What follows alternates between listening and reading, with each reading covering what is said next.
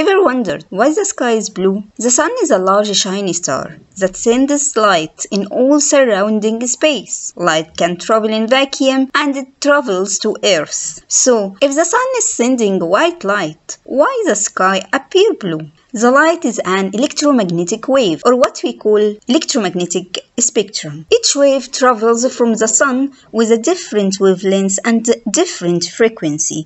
The light coming from the sun contains all types of electromagnetic spectrum, such as microwave, infrared light, ultraviolet light, X-rays, gamma rays, and visible light. White light is a mixture of wavelengths of visible portion of the electromagnetic spectrum. Visible spectrum. We see all rainbow colors mixed as white light. But if we pass the light through a prism, we will see seven rainbow colors. Each color, each color we see comprise a certain amount of energy. It has a certain wavelength and definite frequency. When white light falls on your red t-shirt, your t-shirt absorbs all colors except for red. Your t-shirt reflects red color and you see your t-shirt in red.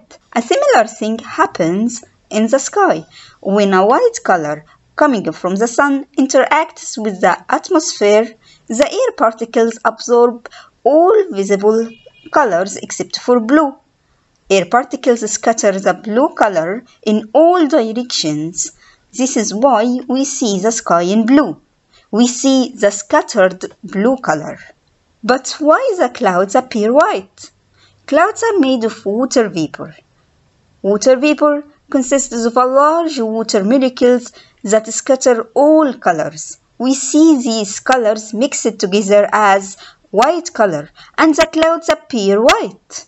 Water molecules are transparent, but they are so large that they scatter all visible spectrum and appear white.